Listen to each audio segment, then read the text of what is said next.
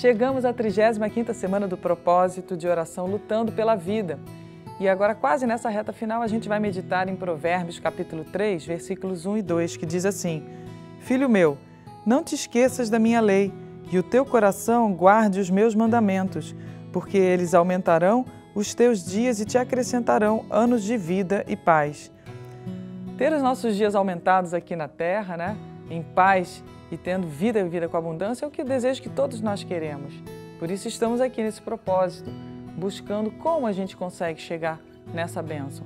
E o versículo 1, ele fala: Não te esqueças da minha lei, e o teu coração guarde os meus mandamentos. Nós não podemos esquecer da lei e guardar os mandamentos. Então, como que a gente tem que fazer para não esquecer aquilo que Deus nos falou? Primeiro, meditar, gravar, e à medida que a gente vai meditando, pedindo o Espírito Santo para gravar no nosso coração, porque senão a gente esquece. Ué, mas é tanta coisa, como é que eu vou guardar a Bíblia toda? Calma, quando você medita e guarda no coração e Deus fala com você através daquela palavra, mais à frente, quando você passar por uma dificuldade ou uma situação que você precisa lembrar dessa palavra, o Espírito Santo, que é o nosso ajudador, e o próprio Jesus disse, ele nos fará lembrar daquilo que eu vos tenho dito. Então é o Espírito Santo que vai nos lembrar daquela palavra que vai ser necessária para a gente não cair numa tentação, para a gente não cair num laço, para a gente não tomar a decisão errada. E para isso nós precisamos então nos envolver com o Espírito Santo de Deus, porque é Ele que vai nos ajudar, Ele é o nosso ajudador.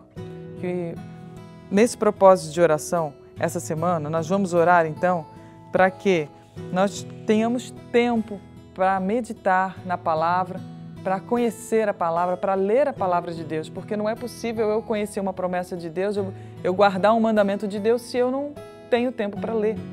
E isso é uma coisa que tem consumido muito, a muitas de nós. O tempo, temos sido vencidas pelo tempo, a gente arranja tempo para tudo e acha que a gente tem que fazer um monte de outras coisas que, na verdade, a gente não precisa fazer. A gente tem que focar no que é o principal. E a segundo propósito de oração é para que nós é, não sejamos vencidas pelas tentações que levam à queda na luta pela vida. Que a gente não caia em ciladas, mas que o Espírito Santo nos revista, nos lembre da palavra e sempre nos dê o escape. Porque não tem tentação que venha sobre nós que a gente não possa suportar. Antes, o Senhor diz que sempre nos dá o escape de todas as situações.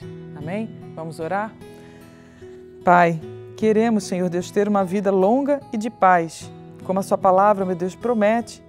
Mas para isso nós não podemos esquecer da, da Sua lei. Assim como um filho não esquece do que o pai e a mãe ensinaram, meu Deus, queremos também, Senhor, como seus filhos, não esquecer do que, das palavras que saíram da Sua boca. Até porque as palavras que saem da Sua boca são o próprio Jesus, que é o Verbo vivo que veio até nós. Não podemos nos esquecer do que o Senhor nos ensinou. E, meu Deus, em nome de Jesus, que a gente não fique só mentalizando as palavras, mas que elas sejam gravadas pelo Teu Espírito no nosso coração, de maneira que no momento da necessidade ou quando precisarmos lembrar, a palavra está lá e o Espírito Santo o Espírito Santo possa nos lembrar dessa palavra porque já foi revelada pelo por Ti a nós. Te pedimos também, em nome de Jesus, tempo, Senhor, para lermos, para meditarmos. Temos vivido muito agitada, Senhor isso tem atrapalhado a gente a ter esse nosso tempo a sós contigo. Por isso te pedimos, Espírito de Deus, dá-nos esse tempo de qualidade para ouvirmos a tua voz, para estarmos como Maria sentada aos pés do Senhor. E em nome de Jesus, que essa palavra venha nos livrar de todas as tentações, de todos os laços das trevas, para que possamos ter uma vida quieta e sossegada, Senhor, uma vida longa e de paz. É o que nós oramos e concordamos em nome de Jesus. Amém. Amém?